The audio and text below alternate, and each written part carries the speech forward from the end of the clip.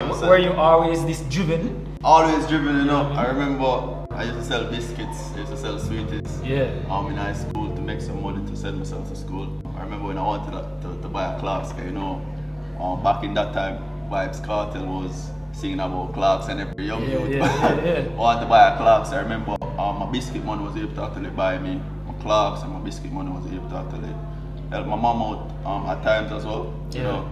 And it, it was able to do a lot for me. I was I was making really good money at school and I was able to actually put money in other people's pocket, other students' pocket because there's a lot of students at school that wasn't able to actually afford lunch. Um, a lot of times, you know, I was on the PATH program as well. Sometimes I go to the park office and lunch is lunch is done. Yeah. You know, so the biscuit money kind of. I remember I even got fed up one day. I was like, I'm not going to go back to that PATH office around the nurse, you know, to collect lunch.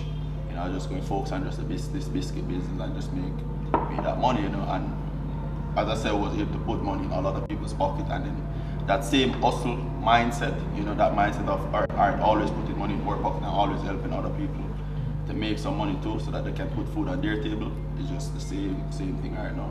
Okay. You know, even in So- university as well, is the same thing.